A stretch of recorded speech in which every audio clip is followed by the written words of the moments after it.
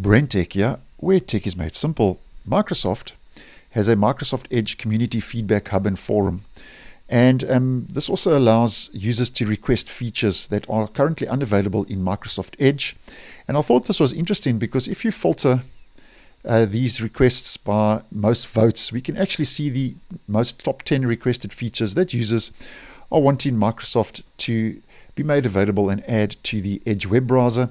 And that's not just for Windows, that's also on Android. So it's on both those different platforms. And I thought this was interesting. So just to go through these uh, in case you would be interested. Now, um, what, what else I, I did find interesting is that out of the um, most top 10 requested features, four are for users requesting improvements to be made to viewing PDF documents in the browser. So I thought that was interesting. Now, the um, most uh, requested feature, starting at number one, the most requested feature is extension support on Edge Mobile. And where the user says, in particular, the ad blocking built into Edge does not work as well as the alternative they use in the desktop browser. So, number one, extension support on Edge Mobile. And then the second most requested feature is to be able to navigate back within a PDF after clicking a link where the user says PDFs can have links that lead to other pages within the document. So to be able to navigate back to a place in the document where they were when they clicked the link, either using the browser back button um, or a special button for this purpose. So number two, being able to navigate back within a PDF after clicking a link. And then number three, the third most requested feature is also to do with PDFs once again and that's to be able to sign a PDF document with an electronic signature and or image like you can do in Adobe Reader according to the uh, user. So number three, sign a PDF document with an electronic signature and or image. And then the fourth most requested feature is improved um, touchscreen support, uh, where the user says Windows tablets such as Microsoft's own Surface need a browser which works well with touch like it did in Edge Legacy. So Number four, improved touchscreen support. And then the fifth most requested feature is regarding the password manager.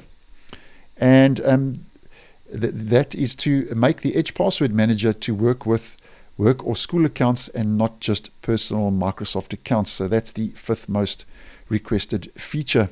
And then uh, the sixth most requested feature is uh, to bring back EPUB support. And if you don't know what EPUB is, it's basically a digital book or an ebook.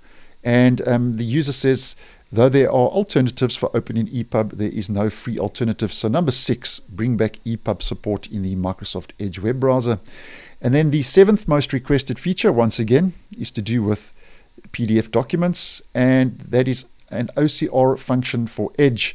Now, if you don't know what OCR is, basically it stands for Optical Character Recognition. And what it does is it converts an image of text into text format. So and the user says a new button could be possible. After a click on that button, the text in the PDF or scanned PDF will be provided as OCR text. So number seven, OCR function for Edge.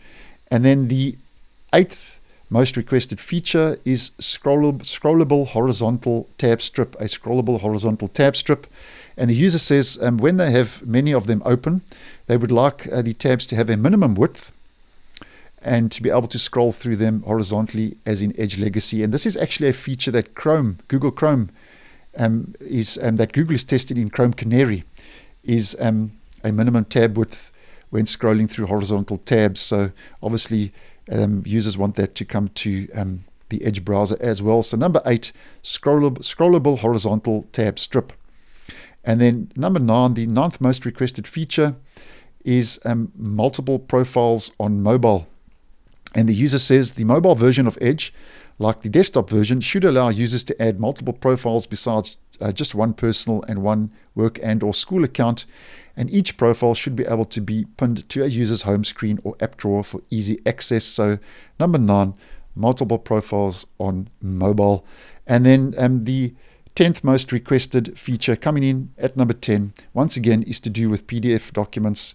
Adobe InDesign created interactive PDFs don't work in the browser. So uh, the user says um, they are currently using Adobe InDesign to create interactive PDFs for learning purposes, and the interactivity within them doesn't work in the Edge browser. So number 10, and that um, last requested feature is Adobe InDesign created interactive PDFs don't work in the browser and they're requesting that support. So I thought that was interesting.